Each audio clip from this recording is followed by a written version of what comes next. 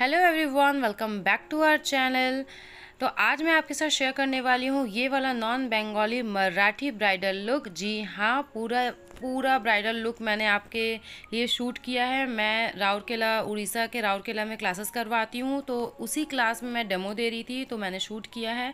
मैंने बोला, मेरी यूट्यूब फैमिली भी देखे। और कुछ ना कुछ ज़रूर आपको सीखने को मिलेगा। अगर आपको कुछ ना कुछ सीखने को मिले तो चैनल को सब्सक्राइब करके बेल का, बेल आइकन ज़रूर हिट करना और वीडियो अच्छे लगे तो लाइक करना। तो सबसे पहले मैं यहाँ पर आईब्रोज़ को ड्रॉ कर रही हूँ, लेकिन इससे पहले फेस को मैंने क्लीन कर लिया था और क्लीन करने के बाद टोनर एंड मॉइस्चराइज़र भी अप्लाई कर दिया था। जब तक हम लोग आईब्रो और आई मेकअप का काम करेंगे, तब तक स्किन अच्छे से हाइड्रेट हो जाएगी, इसलिए आप मॉइस्चराइज़र के बाद ही आई मेकअप का काम स्टार्ट करें। बहुत लोग आई मेकअप बाद में करते हैं बट मैं पहले करना ज़्यादा पसंद करती हूँ। तो आईब्रोज़ को ड्रॉ करने के बाद मैं यहाँ पर उसे क्लीन कर रही हूँ। एंड आज पूरा मेकअप आप लोग ज़रूर देखना एंड तक देखना और मुझे बताना कि आप लोगों को कैसा लगा। और सारे जो प्रोडक्ट्स हैं मैं बताते जाऊँगी कि मैं कौन सा प्रोडक्ट यूज़ कर रही हूँ। तो यहाँ पर मैंने बेस के लिए यूज़ किया है क्राइलॉन का आ, सुपरा।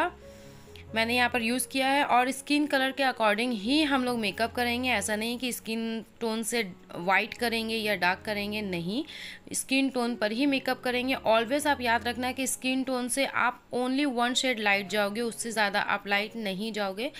और रूल्स जो भी है मेकअप के, मैं साथ ही साथ आपके साथ शेयर करती रहूँगी। तो मैं, मेरी आदत है इस तरीके से क्लीन कर लेने की। आप अगर चाहो तो क्लीन नहीं भी कर सकते हो।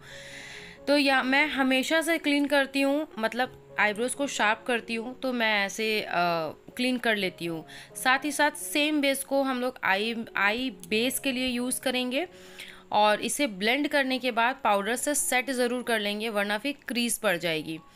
मेरे रिसेप्शन में मैंने अमित कर्मकर से मेकअप करवाया था और मैं, उन्होंने पाउडर से सेट नहीं किया था। मेरी पूरी क्रीज आ गई थी। मेरा शादी का मेकअप एंड रिसेप्शन का मेकअप एक्सपीरियंस मेरा ख़राब रहा, जो कि मैं दूसरे वीडियो में ज़रूर शेयर करूँगी।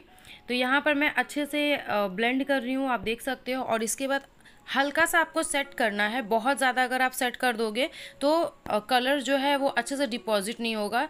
सो आपको हल्का फुल्का सेट करना है। ना यहाँ पर मैं आज बहुत ज़्यादा कलरफुल आई मेकअप करने वाली हूँ।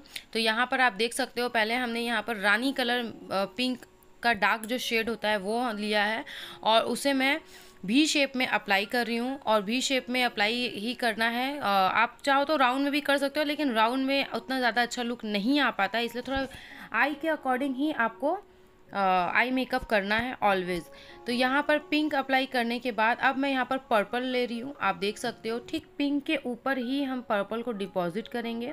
और अभी सिर्फ़ डिपॉजिट का काम हो रहा है, अभी ब्लेंडिंग का काम नहीं हो रहा है, आप देख सकते हो। और उसके लिए आप एक, आप कभी भी डिपॉजिट करो तो पेंसिल ब्रश ही यूज़ करना और ब्लेंडिंग के लिए ब्लेंडर ब्लेंडिंग करने के लिए ब्लेंडिंग ब्रश यूज़ करना। जैसा कि आप देख सकते हो, यहाँ पर मैंने हल्का सा ऑरेंज शेड लिया है और उसके साथ मैं यहाँ पर ब्लेंड कर रही हूँ। ब्लेंडिंग आप जितना अच्छा करोगे मेकअप और आई मेकअप उतना ज़्यादा खूबसूरत लगेगा। आई शेडो आप कोई भी ले सकते हो, कोई भी ले सकते हो और इस मेकअप में मैं जो भी प्रोडक्ट्स दिखा रही हूँ ज़रूरी नहीं है कि आप भी वो प्रोडक्ट्स लो। आपके पास जो प्रोडक्ट है, आप उसके साथ भी मेकअप कर सकते हो, लेकिन हाँ बेसिक चीज़ें आपके पास होनी चाहिए। जैसे कि प्राइमर हो गया कंसीलर हो गया पाउडर हो गया, ये सब आपके पास होना चाहिए। आई हो गया। ब्रांड ब्रांड उतना ज़्यादा मायने नहीं रखता अगर आपको काम अच्छा आता है। तो यहाँ पर मैं बहुत अच्छे से ब्लेंड कर रही हूँ और कलर बहुत ज़्यादा क्रीज को मैं डार्क कर रही हूँ, जैसा कि आप देख सकते हो। और इसके बाद मैं यहाँ पर हल्का सा ब्लू कलर अप, अप्लाई कर रही हूँ। आपको दे, आप देख सकते हो ब्लू कलर का बहुत हल्का हल्का मैं पिक करूँगी और ब्लेंडिंग करते जाऊँगी क्योंकि अगर आप एकदम से कर रख दोगे तो वो ब्लेंड होना मुश्किल हो जाता है। तो मैं ब्लेंड करते हुए आप एक चीज़ ध्यान देना पहले मैंने क्रीज लाइन में कलर को डिपॉजिट किया और फिर ब्लेंड किया। लेकिन जब मैं यहाँ पर ब्लू कलर ले रही हूँ तो मैं ब्लेंड करते हुए उसे अप्लाई कर रही हूँ। तो मेरे बोलने का ये मतलब है, जब आप कलर को डिपॉजिट करोगे तो डार्क बैठेगा और ब्लेंडिंग करते हुए करोगे तो लाइट बैठेगा। ब्लू कलर डार्क है, इसलिए मैं उसे ब्लेंडिंग करते हुए यहाँ पर अप्लाई की हूँ। ना यहाँ पर मैं यूज़ करूँगी white base white base use करने से आपका जो आई कलर होता है आई शेडो का जो कलर होता है, वो बहुत ज़्यादा पॉप आउट होता है, बहुत ज़्यादा इन्हेंस होता है, जिसकी वजह से, जैसे कि आप जानते हो वाइट कलर के ऊपर आप कुछ भी करोगे करोगे, वो ईजिली दिखता है। सो so, यहाँ पर आप बेस भी अप्लाई कर सकते हो लेकिन बेस के अकॉर्डिंग अगर आप वाइट बेस अप्लाई करोगे मतलब स्किन टोन से जो मिलता जुलता बेस होता है टिंटेड उसके अकॉर्डिंग अगर आप वाइट अप्लाई करोगे तो वो ज़्यादा विजिबल होगा। वाइट वाला ज़्यादा विजिबल होगा। थोड़ा सा लाइट इशू है क्योंकि मेरी आदत है जब मैं मेकअप करती हूँ तो थोड़ा सा सामने आ जाती हूँ तो फोकस चेंज हो जाता है। तो यहाँ पर मैंने जूम किया है ताकि आप लोगों को ईजिली समझ आए। और यहाँ पर मैं ऑरेंजिश येलो मीन्स ये येलो भी नहीं है, ये पूरा ऑरेंज भी नहीं है ऑरेंजिश येलो कलर है, वो मैं यहाँ पर अप्लाई कर रही हूँ। और इनर भी से अप्लाई करूँगी। इनर भी में लास्ट में आप हाइलाइटर दे भी सकते हो, नहीं भी दे सकते हो बट मैं यहाँ पर अभी फ़िलहाल ऑरेंजिश येलो अप्लाई की। इसके बाद मैं यहाँ पर येलो से ब्लेंड कर रही हूँ। ठीक है सेम टू सेम कलर अगर आप करोगे तो आपका आई लुक भी ऐसा आ जाएगा। नहीं तो आप उन्नीस बीस का फ़र्क भी रख सकते हो, इसमें कोई इशू नहीं है। और थोड़ा सा येलोइश दिखाने के लिए मैं इसके ऊपर ओनली येलो कलर यूज़ कर रही हूँ। आप देख रहे हो कलर थोड़ा सा चेंज हो गया है, क्योंकि मैंने येलो कलर दिया। इसके बाद, ठीक बाद मैं ऑरेंज कलर दूँगी। बस ऑरेंजिश येलो देने का मेरा यही मकसद था, उसके बाद मुझे ऑरेंज अप्लाई करना है। आप हमेशा जब भी मेकअप करोगे, पता पता नहीं आप लोग किस थ्योरी में चलते हो वो आपके ऊपर डिपेंड करता है क्योंकि मेकअप का थ्योरी तो अलग अलग है। जैसे मोनोक्रोमेटिक आई मेकअप अलग है एनालॉगस आई मेकअप अलग है। सो so, यहाँ पर मैं बहुत कलरफुल आई मेकअप करने वाली हूँ। ठीक ऑरेंज के बाद मैं रेड कलर अप्लाई कर रही हूँ। ऑरेंज देन रेड मिलता जुलता कलर पहले मैंने येलोइश ऑरेंज लिया फिर मैंने ऑरेंज लिया फिर मैंने ऑरेंज रेड लिया। ठीक है? तो इस तरीके से हम लोग यहाँ पर अप्लाई करेंगे। बहुत जल्दी मैं आपके साथ कलर व्हील क्लास भी शेयर करूँगी। तो चैनल को सब्सक्राइब ज़रूर कर लेना। और यहाँ पर ब्लेंड करूँगी। आई मेकअप करने में थोड़ा सा मैं ज़्यादा टाइम लेती हूँ ताकि बहुत अच्छे से आई मेकअप हो। ठीक रेड के बाद मैं यहाँ ग्रीन अप्लाई कर रही हूँ। ग्रीन इसके बाद ब्लू जो कि मैंने पहले अप्लाई किया है। तो उन दोनों को मैं अच्छे से ब्लेंड करूँगी। और ग्रीन अभी लाइट ग्रीन है, इसके ऊपर मैं डीप ग्रीन दूँगी। ठीक है? आपको थोड़ा सा कन्फ्यूज़न हो सकता है बट आप स्टेप बाय स्टेप वीडियो देख के मेकअप करोगे और अभी तो बहुत सुविधा हो गई है आई डमी आ गई है।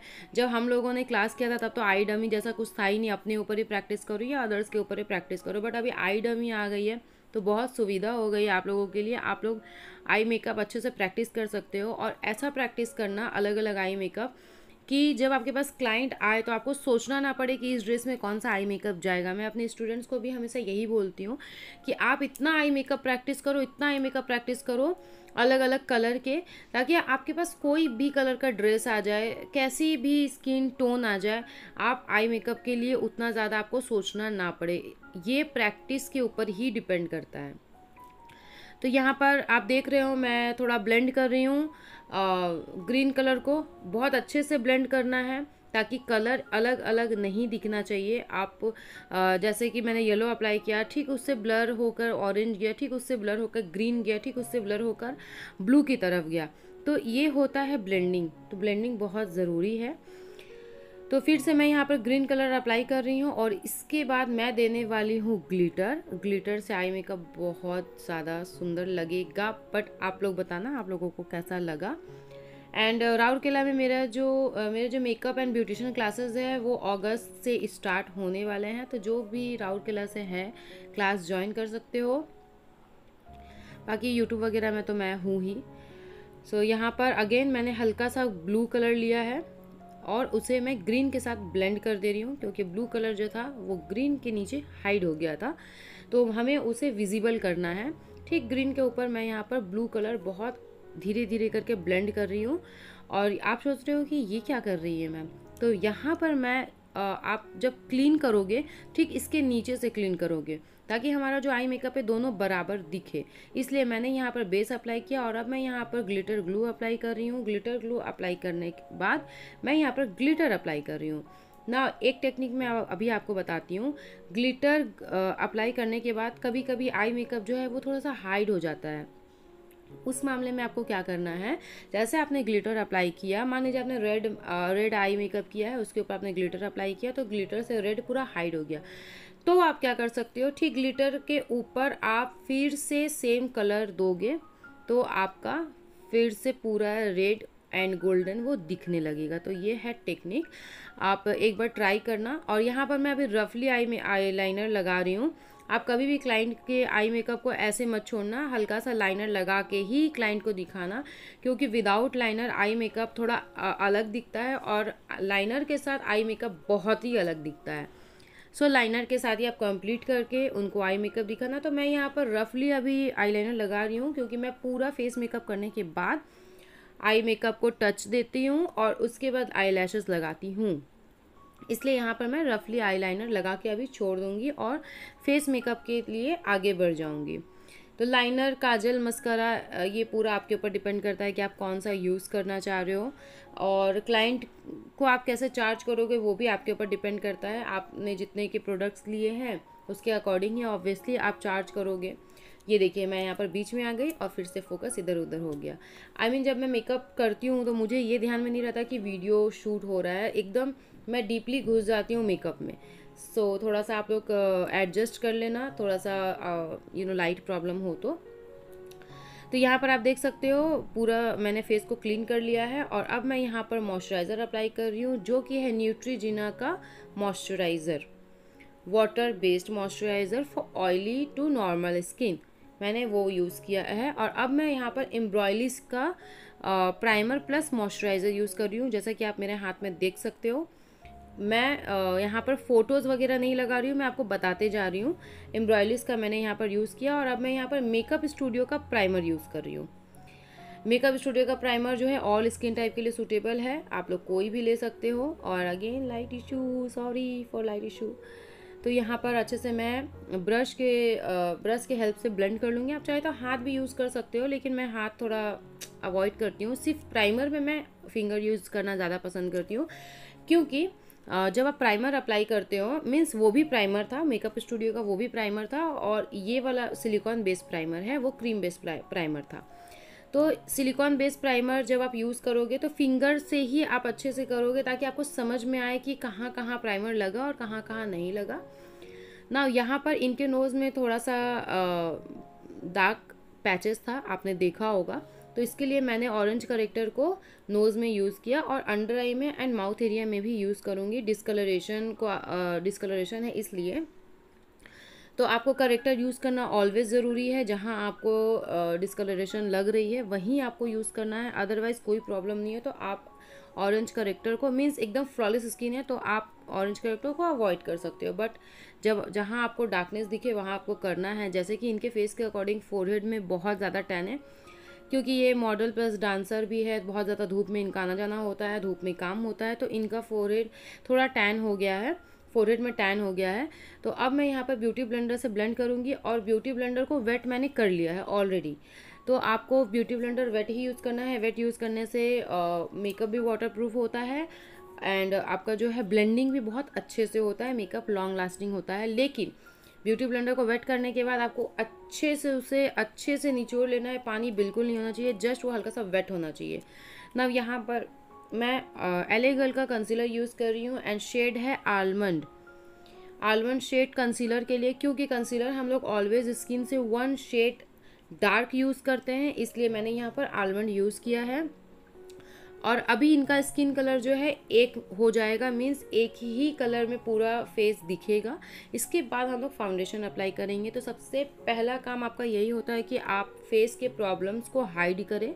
जैसे कि फेस में टैन है, या डार्क डार्क पैचेस है, या डार्क सर्कल है, या माउथ एरिया डार्क है डिस्कलरेशन है तो उसको आपको एक करना होगा। यहाँ आप देख सकते हो, एक हो चुका है। ना यहाँ पर मैं मेकअप स्टूडियो का ही फाउंडेशन यूज़ कर रही हूँ और एकदम स्किन टोन से मैच करता हुआ यूज़ कर रही हूँ, क्योंकि हाइलाइटर कंसीलर हम लोग वन शेड लाइट यूज़ करने वाले हैं। जी हाँ ये चीज़ आपको ध्यान में रखनी है। स्किन टोन से बिल्कुल मिलता जुलता ही आपको फाउंडेशन अप्लाई करना है, क्योंकि जब हम लोग कंसीलर से हाइलाइटिंग करते हैं तो skin already one shade light हो जाती है, क्योंकि ये रूल है। जब भी आप कंसीलर यूज़ करोगे फॉर हाईलाइटिंग तो आपको वन शेड लाइट ही यूज़ करना है। तो यहाँ पर मैं मेबलिन एज रिवाइन का यूज़ कर रही हूँ one forty four shade but ये इनके स्किन टोन से बिल्कुल मैच है। तो इसके ऊपर मैं एक और कंसीलर यूज़ करूँगी, जो कि है one thirty shade Maybelline Age Rewind का ही। एंड मेबलिन एज रिवाइन मेरा फेवरेट कंसीलर है। मैंने बहुत सारे कंसीलर यूज़ किए टार्ट यूज़ किया है माई मेकअप स्टोरी यूज़ किया है बहुत कुछ यूज़ किया है लेकिन मेरा फेवरेट पता नहीं क्यों मेबलिन एज रिवाइन ही है इसका जो लुक आता है ना माई oh गॉड और टार्ट तो है ही खैर क्योंकि प्राइस में भी बहुत डिफरेंस है ये आपका सेवन हंड्रेड में आ जाता है एंड टार्ट का ट्वेंटी सेवन हंड्रेड में आता है. सो so, अच्छे से ब्लेंडिंग करने के बाद मैं यहाँ पर कंटोरिंग कर रही हूँ कंटोरिंग के लिए मैं यहाँ पर यूज़ कर रही हूँ शुगर का कंटोर और ये जो कंटोर है ऑलमोस्ट एटी परसेंट स्किन में चला जाता है, जो बहुत डार्क स्किन होगा, सिर्फ़ उसमें नहीं जाएगा but eighty percent skin tone में चला जाता है, इसलिए मैं ये क्रीम कंटोर यूज़ कर रही हूँ, आप कोई भी यूज़ कर सकते हो।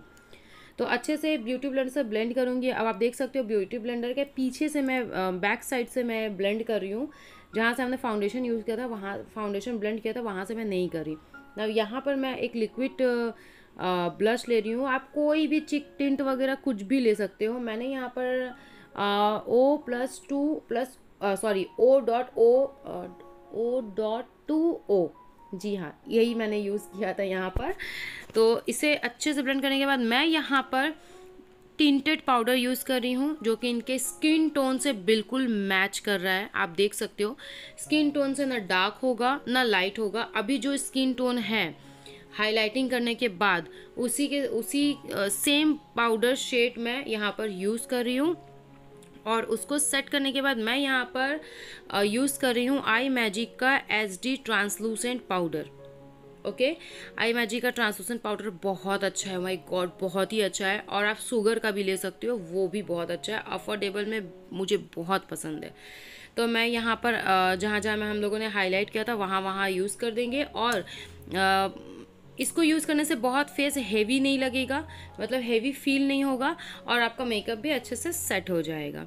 तो ट्रांसलूसेंट पाउडर बहुत इंपॉर्टेंट पार्ट है। ट्रांसलूसेंट पाउडर यूज़ करने से आपका मेकअप जो है वो ब्लर दिखने लगता है। मीन्स जो स्मूथ फ़िल्टर होता है ना वो इस पाउडर में लग जाता है। आप ऐसा बोल सकते हो। सो so, स्किप बिल्कुल नहीं करना है और एक्स्ट्रा जो भी प्रोडक्ट है मैं उसे यहाँ पर रिमूव कर रही हूँ। जैसा कि आप देख सकते हो आप बहुत ज़्यादा वेट मत करो। मैं यही सजेस्ट सजेस्ट करूँगी कि आप फाइव टू टेन सेकेंड में पाउडर रिमूव कर सकते हो। अब यहाँ पर मैं आई मैजिक का कंट्रोल पैलेट यूज़ कर रही हूँ।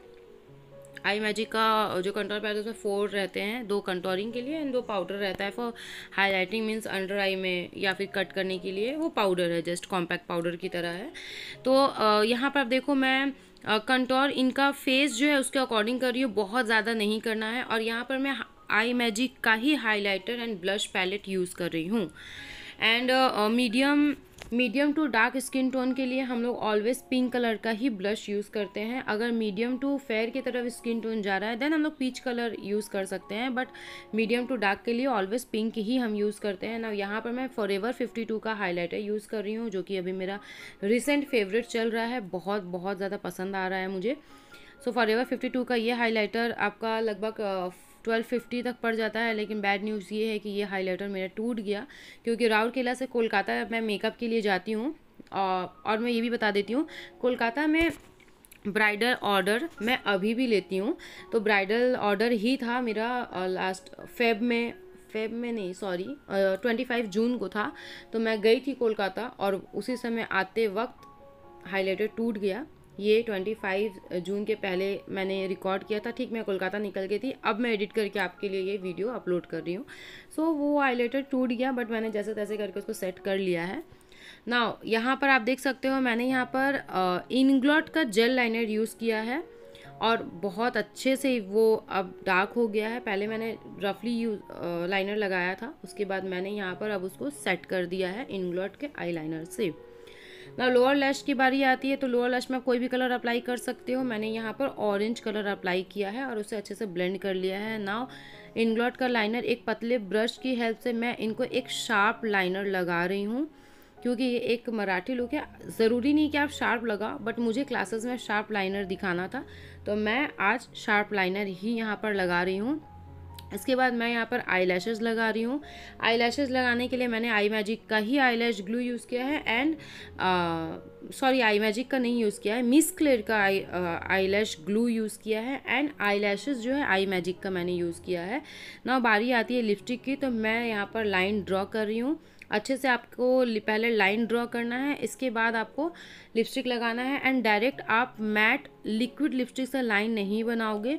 पहले आप क्रीम लिपस्टिक से लाइन बनाओगे, इसके बाद आप अंदर में फील करोगे ताकि आपका जो लिप है, उसका शेप अच्छे से बैठ जाए। एकदम से आप अगर मैट लिपस्टिक ले लोगे ना, थोड़ा भी अगर गड़बड़ हुआ तो आप उसको ठीक नहीं कर पाओगे। इसलिए पहले आपको क्रीम अप्लाई करना है देन आपको लिक्विड यूज़ करना है। तो यहाँ पर मैंने कर दिया है एप्लीकेशन और अब मैं यहाँ पर मेकअप को सेट कर रही हूँ मेकअप फिक्सर से। ना यहाँ पर हो गया है मेकअप लुक कंप्लीट अब आप लोग मुझे बताना है कि आप लोगों को कैसा लगा. और आ, या सब्सक्राइब कर लेना लाइक करना एंड शेयर ज़रूर करना. और मैं अभी बिल्कुल नहीं बोलूँगी कि अब मैं वीडियो अपलोड करूँगी क्योंकि जब मैं ये बोलती हूँ तब मेरे लाइफ में प्रॉब्लम आ जाता है. सो so, बस आप लोग लाइक करना सब्सक्राइब करना मुझे सपोर्ट करना एंड शेयर ज़रूर करना। सो so, इस वीडियो में यहीं तक। मिलते हैं हमारे नेक्स्ट वीडियो में। उम्मीद करती हूँ कि इस वीडियो से कुछ ना कुछ आपको सीखने को मिला होगा और आपने इस वीडियो को इस मेकअप लुक को इन्जॉय किया होगा। सो so, आप लोग मुझे फेसबुक इंस्टाग्राम पे भी फॉलो कर लीजिएगा। इंस्टाग्राम आईडी है नेहा जसवारा वन डिस्क्रिप्शन में मिल जाएगा। सो so, अभी के लिए बाय